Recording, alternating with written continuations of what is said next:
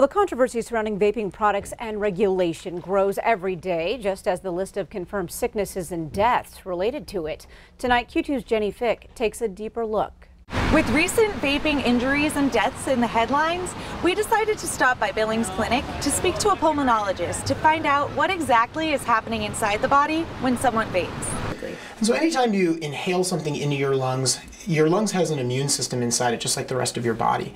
And so if you were, for example, to get some kind of irritating material on your skin, your skin would turn red, it would be painful, it might itch, it might even open up the skin itself. That same inflammatory reaction can happen inside the lungs. And that's really what we're seeing with these new inhalational devices and people inhaling substances that really they shouldn't be inhaling at all.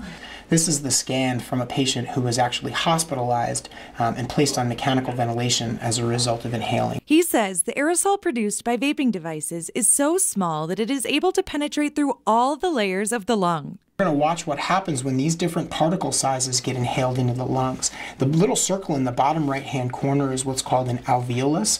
It's the most uh, it's the part of the lung where air and oxygen are actually exchanged within the blood.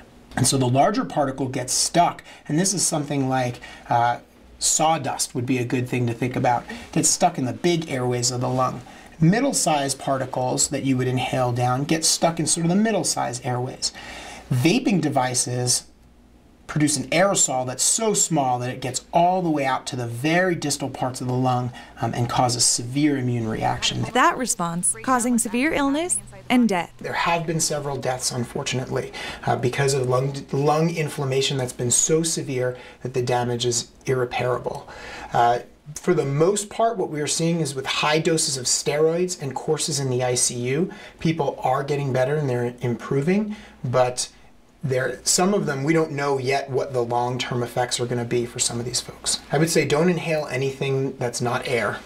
Uh, putting anything in your lungs that's not supposed to be there just like putting anything in your body that's not really supposed to be there um, has really potentially very serious side effects and, and and can really cause potentially irreversible damage if not loss of life. In billings jenny fick mtn news all right, now the ultimate message, quit smoking. Montana has a dedicated quit line, the Montana Tobacco Quit Line, 1-800-QUIT.